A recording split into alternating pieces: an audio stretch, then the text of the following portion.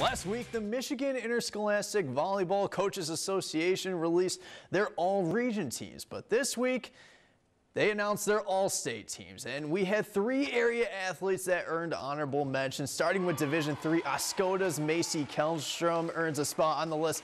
She had a very strong season for the Owls. The senior finished with 439 kills, 364 digs, and racked up 109 aces with a 93% serving percentage.